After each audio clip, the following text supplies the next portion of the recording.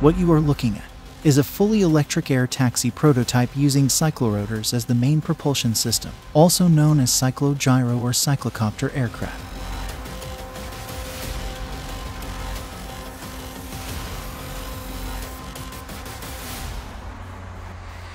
This century old technology used successfully in ships is gaining traction as an eVTOL main propulsion system. It offers compactness, precise maneuverability, and a stable transition from hover to flight.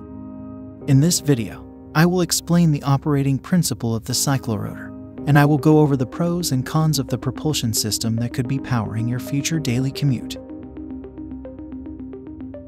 In February 1923, Jonathan Edward Caldwell filed for a patent on a device he called the cyclogyro. It consisted of an airplane fuselage with two paddle wheel-like attachments in place of the wings.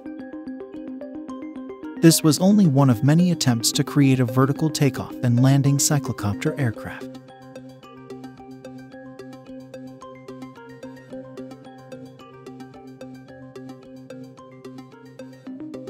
The historic failure of cyclocopter prototypes can be attributed to one or more of these three main weaknesses unsuitable materials, heavy engines and power sources, or insufficient knowledge of aerodynamic phenomena.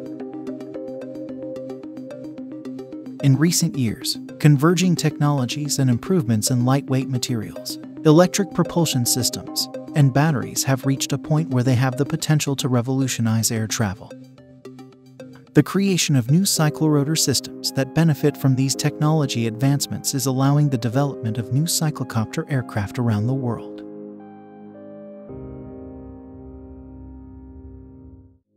This technology combines the main benefits of rotorcraft and fixed-wing concepts. A cyclorotor has several wings rotating around a central rotation axis at a constant speed. These wings are connected to a freely rotating hub with conrods.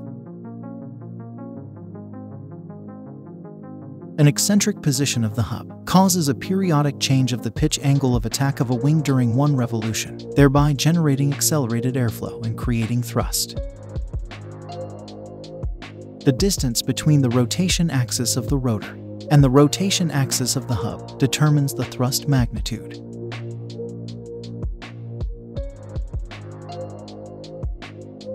and the position of the rotation axis of the hub in the peripheral direction determines the thrust direction 360 degrees around the rotation axis.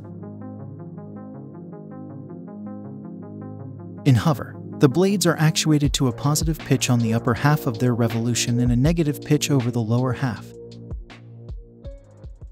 inducing a net upward aerodynamic force and opposite fluid downwash. The Austria-based company Cyclotech developed and tested many different rotor prototypes. The current prototype is a carbon cylinder 420 mm long and 350 mm in diameter, with five blades also made of carbon, which allows to develop a maximum thrust of 25 kilograms at 3,100 revolutions per minute. The company offers several uses for this technology, including the concept of a four-seater air taxi with four propellers on a 1.2 by 1.2 meter unit. It will offer an estimate range of 85 kilometers, with a flight time of 40 minutes and a cruising speed of 150 kilometers per hour. The cyclocopter design has several advantages. Exceptional maneuverability, the ability to instantly change the magnitude and direction of traction on each rotor without having to change the engine speed. Compactness, by the reduction of aircraft footprint. Agility, they can react to crosswinds and gusts in a much faster and effective way, especially during the critical takeoff and landing phase. Cyclorotors can immediately counteract interfering forces. Forward flight efficiency. The efficiency of a cyclorotor is proven to improve during forward flight. One of the biggest disadvantages of a cyclocopter is that the rotor weight forms a significant fraction of the empty weight of the vehicle. The weight of the rotor is directly related to the blade weight because it governs the radial force, which is the predominant structural load on a cyclorotor. Designing lightweight blades for the cyclorotor is challenging because the outward force acts in the transverse direction, producing large blade deformations and even structural failure of the blades.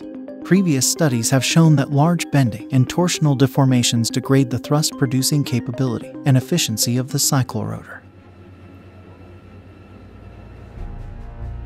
Russia's Foundation for Advanced Research is developing the Cyclocar, a hybrid VTOL that will carry six people or up to 600 kilograms of cargo.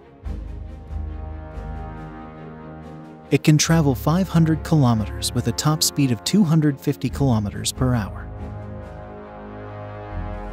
The Russians are planning to use it with a hybrid propulsion system, with full electric drive and a range-extending combustion generator. A full-size, long-range, six-seat cyclocar is expected to fly in 2022.